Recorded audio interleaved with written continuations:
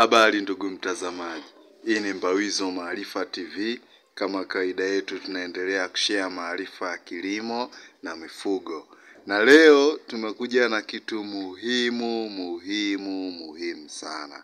Kitu chenyewe muhimu muhimu sana ni kila mkulima, kila mfugaji, kila anayejihusisha na biashara ya kilimo anachotakiwa ni kuwa na mpango kazi mpango kazi, plani zake eh, kila anachofikiria kukifanya lazima awe na ubao binafsi wa nyumbani, kwa sababu ndo ofisi. Ah, Tunaposema ni mkulima ina maana ofisi yake ni kwenye kilimo. Tunaposema mfugaji, ina maana ofisi yake ni kwenye ufugaji. Kwa hiyo anachotakiwa kuwa nacho ni ubao binafsi atakaokuwa nao nyumbani, atakaokuwa anabandika mipango kazi yake na vitu vingine vyote anavyotakiwa kuvifanya. Siku zote wanasema kazi bila mpango kazi ni stori. Kwa kama unataka kazi iwe kazi, lazima uwe una ubao wako binafsi ambao utabandika ratiba zako, utabandika vitu unavyotakiwa kufanya, ratiba za chanjo, eh? Ratiba ya kutengeneza bidhaa zako, bidhaa unazotakiwa uzilime, wateja wako watapatikanika wapi, eh? jina la shamba lako. Kwa mfano hapa tunaweza tukaona mbele kuna HK Garden Board Notes, ina maana hili hii bustani inaitwa HK ni ya mkulima mmoja ambaye ameibandika, amebandika kama unavyoona hapo vya kulima kwenye shamba lake amebandika vitu vya kulima kama unavyoona hapo mbele kuna wanunuzi kuna mnunuzi namba moja kama wanavyosema anzia sokoni kwa ina maana huyu mkulima alianzia sokoni akaenda kufanya utafiti vitu ambavyo vinatoka sokoni kwa hiyo na ukiwa kama mkulima lazima ufanye utafiti eh? vitu gani vitatoka sokoni, vitu gani viko kwenye soko. Kama tunavyoona hapo, huyo ndugu ameandika eh, juu kabisa hapo, soko lake ni Windini, na maana ataenda kuuza Windini. Wanunuzi amemwandika mnunuzi namba moja, huyo hapo, na namba yake kuna mnunuzi namba mbili na mnunuzi namba tatu. Safi, ameanzia sokoni na mazao ambayo atakuja kuyalima. Kuna hapo eh, kuna brokoli, kuna cornflower, kuna beetroot, kuna selili hybrid, kuna liksi, vitunguu kwa ajili ya supu, kuna parsley, kuna lettuce salad, kuna spring onion, kuna pilipili kali imepinda mbele, kuna bilinganya, kuna hoho njano na nyekundu, kuna zukini lishe, kuna green beans, kuna strawberry na kuna giligiliani. Kwa hiyo hiyo amebandika hapo nini? ni mazao atakaokuja kulima au atakao dili nayo.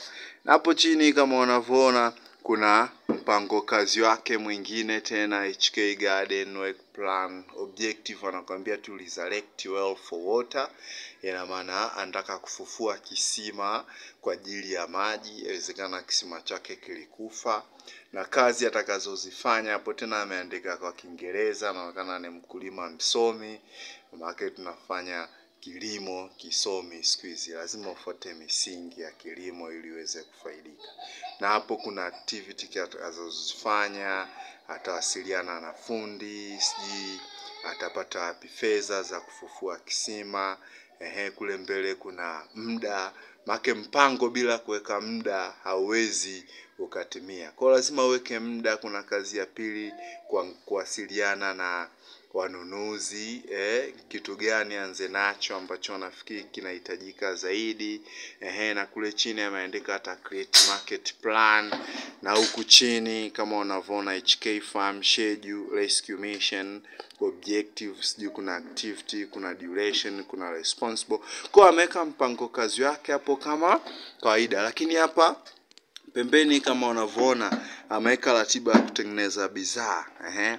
Kuna lengo lengo kutengeneza bidhaa kadhaa. Mhm, bidhaa ya kwanza ni pilipili, bidhaa ya pili ni mchaichai chai, na bidhaa tatu nalima mboga, kausha mboga mboga. Kazi fanywa hapo mbele, ameweka atafanya nini? Ehe, kufanya utafiti kwa kuuliza na kusoma jinsi ya kutengeneza, kufanya utafiti wa nembo na vifungashio, kufanya utafiti wa soko na kupata watu kadhaa wa kuchukua bidhaa, kupata mashine ndogo kwa ajili ya pilipili na kuunga vifungashio. Muda ameweka huko mbele, hiyo hapo kazi ya kwanza ni ndani ya tarehe tano mwezi wa sita, ndani ya mwezi wa tano, ehe, mwezi wa tano na mwezi wa sita, ndani ya mwezi wa ngapi, na kule mbele ameweka utekelezaji. Lakini hapa chini ameweka ratiba za chanjo. Ukiwa kama mkulima unafuga wanyama kadhaa, lazima uweke ratiba za chanjo kwa ajili ya kumbukumbu. Kuna chanjo ya nguruwe, ehe, kuna chanjo ya mbwa na kuna chanjo ya kuku.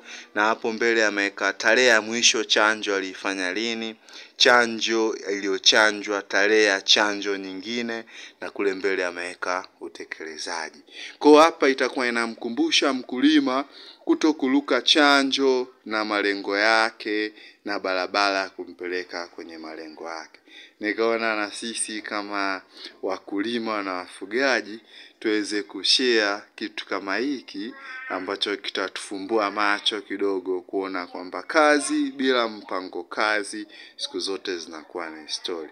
Ni matumaini yangu nayo utakuwa umehamasika kwa namna moja ama nyingine, utengeneze ubao wako nyumbani, utakaokuwa unabandika mipango yako, e, utekelezaji wake, lini unafanyika, ili kufanya kilimo kiwe biashara, kilimo kiwe kazi, kilimo kiwe uti wa mgongo kwelikweli.